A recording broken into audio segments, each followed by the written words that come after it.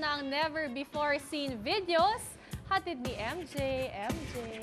Thank you, Bianca. Alam mo, nakaalis na nga ng bansa si uh, Zac Efron kahapon, no? pero hindi niya malilimutan ang kanyang adventure sa Legazpi City, Albay. At nakakuha tayo ng mga exclusive videos habang nagbabakasyon siya doon. Ito po, panoorin natin. Dalawang araw bago ang kanyang fan conference noong Sabado, nagbakasyon muna sa Legazpi City, Albay, si Zac Efron. Bukod sa mga pagkain, nag-enjoy muna ang Hollywood star sa mga outdoor activities. Matapos mag-breakfast sa lava bed sa may paanan ng Mayon Volcano, sumakay na ng all-terrain vehicle o ATV si Zac kasama ang buong grupo. Sa eksklusibong videong aming natanggap, kitang-kita ang pag enjoy ng Hollywood hunk sa ATV. Dumaan sila sa ilang rough roads hanggang sa makaakyat sa bundok. Ang kaspa ni Zac ang kanyang ama. One of the coolest things I've ever done. Unreal. At habang nasa bundok, nag-enjoy din si Zac sa isang Carabao ride. Isang oras din ang paglilibot nila sa bundok. Hinding-hindi daw niya ito makakalimutan. It's been a dream of mine to come to the Philippines since I was a young boy. And I'm finally here. How was that vacation in Bicol? How was it?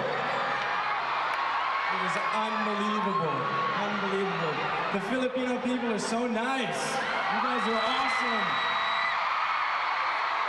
You make me feel so at home. I just want to move here.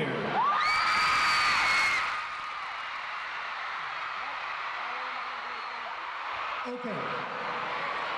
Start our...